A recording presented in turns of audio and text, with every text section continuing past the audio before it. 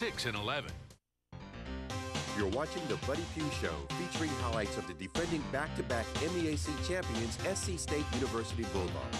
Our sponsors are State Farm Insurance, Orangeburg County, the South Carolina Education Lottery, the Regional Medical Center, Time Warner Cable, Palmetto Health, Advanced Diagnostic Imaging Center, Fats Cafe, Paragon Builders, Bill Owens Custom Clothing, and Whitash Furnishings.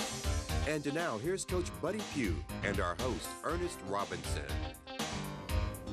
And welcome once again to another edition of the Buddy Pough Show as we talk South Carolina State football with Bulldog head football coach Buddy Pough. Saturday night, South Carolina State, the home opener, taking on Mississippi Valley at the Southwestern Athletic Conference. Bulldogs come away with a dominating 44 to nothing win over Mississippi Valley coach.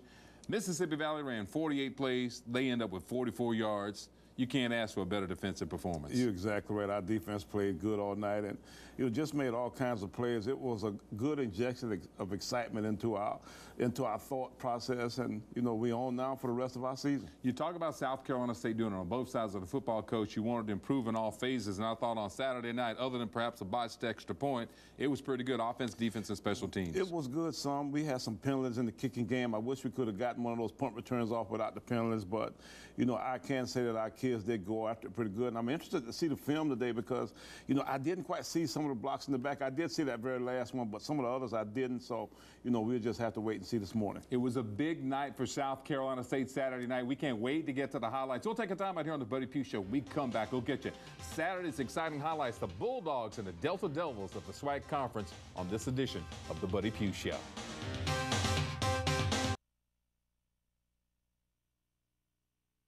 Produces more minority officers for the United States military. Because we began the national debate to choose the next president of the United States. Because here we compete at the highest level. Because when it comes to social mobility, we're ranked number one in the nation. Because I'm a part of the only undergraduate nuclear engineering program in South Carolina. We are SC State University.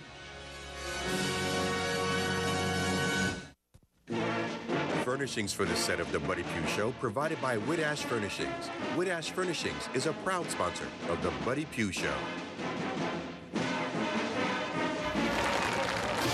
I call it a decent crowd on Saturday night, given the rain that came Saturday afternoon for South Carolina State. And the Bulldog defense coach gets right after him here early in the football game. Right. You see uh, Dominique Ellis forcing to play inside and Julius Wilkinson going in and, and, and making a nice stop. We go right to the punt formation because this, of course, changed the nature of the game. Mississippi Valley faking it on fourth down. They needed three for first down, didn't come close. You're right. Yari King sniffed it out and saw the uh, fake. And I wish he'd had wrapped up and made the play that way, but he did get the guy slowed down enough so we could get him down. And then on the very first play, uh, uh, we run the split zone, and uh, Chris Massey scores from about 20 some odd yards out. Chris Massey, a senior out of Cheraw, South Carolina, 28 yard run for a touchdown. And just like that, it took seven seconds. Bulldogs on the board to point after touchdown. Good. 7 0 South Carolina State. 12.48 to go uh, in the first quarter. And once again, Mississippi Valley goes on defense, and the Bulldog uh, goes on offense, and the Bulldog defense right there. Right. That's Roydell Ferguson and, and uh, uh, Courtney Ingram coming in from the outside, and they really, you know, hit this guy hard now. They go into punt formation, and Linnell Jeter begins a great night for himself with a block punt. You're exactly right. Linnell Elmore had a big game Linnell for us. I knew I was going to say that. and, uh, you know, we did get the, I think uh, Dwan Thompson eventually got the recovery. And then, you know, we go, we run the stretch play there. You see Devin Weary having a nice block. And, you know, after two snaps on offense, we up 14 nothing. And, you know, that sometimes scares you, scares you because, you know, it's almost too easy. But uh, Chris Massey did score again on the stretch play. And then we come back and kick the PAT. 10.08 to go in the first quarter. 14 nothing South Carolina State. Coach, as you said, it seems so easy, but for the defense, I mean, they just not allowing any yardage on the part of yeah. uh, Mississippi yeah. Valley. Pat Washington just disrupts the whole thing there, and then you see Christian Thompson and Julius Wilson both hitting him in the backfield. The control of the line of scrimmage belongs to the defensive line. Dominic Ellis coming up from the corner position. You know, it's fun to see Dominic, and he's a he's a safety. He's our strong safety, and you see him up in the line making plays all the time. And you know, Julius is in there uh, getting involved too. And I, you know, from this point on, you know, we kind of slow down a little bit, but uh, does gain some yards there, and you know, we get a good block, and and then we come back here, we throw a little little flat pass out to Massey, and he breaks the tackle and gets you know some extra yards. But we got to protect better. I was I was not real happy with our protection uh, uh, on Saturday, and then we end up turning the ball back over to them, and you know, this is this is Joe Council, and Joe Council is really coming on from the defensive tackle position. It's generally hard to make sacks from this position, but you know, he had a nice game here this past Saturday. Joe Council, a senior from Walterboro, played at Colleton High School down in Walterboro. After the first quarter, Bulldogs still leading 14 0 You get a little concerned because you got scored those early points so quickly. Have an opportunity here, and it gets away from Ashton and, Jordan. And and I'm disappointed a little bit, you know, in and for Ashton because,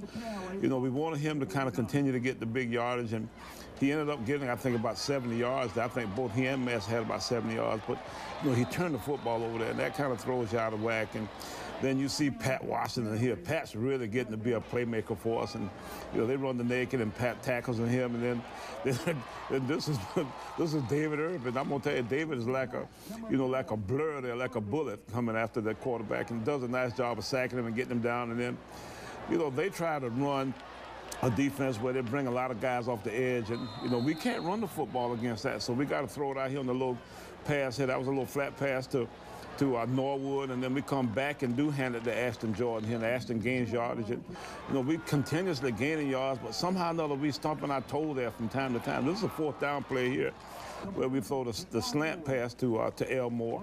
Linnell Elmore had 12 catches on the night, set a single season reception record, breaking the 11 by Tavares Morgan. Chris Massey making a move inside and getting good yardage. You can tell that Massey is one of those kind of guys that as he gets a little bit more comfortable, you'll see him making a lot of people miss. He can shake and bake, and he's got some toughness about him too. And then, you know, Julius is coming off the edge here, and Jason Ayers, and that's why we call Jason the Noodle because they're chopping him here, and he almost think you, you, you would think that he'd be going down, and he has the wherewithal to still get his hands up and bat the ball out. And then we come back at right at the end of the half and hit Elmo down the seam on the four verticals pass. And I think he, I thought he was going to score, but he didn't quite get in. But then we run the play action pass, you know, off of our right flank here. And Malcolm hits Devin Ware, and Devin dives over for the score. Malcolm, a big night, a comeback night for him. 21 of 28, 232 yards on the night for Malcolm Long. One touchdown, no interceptions.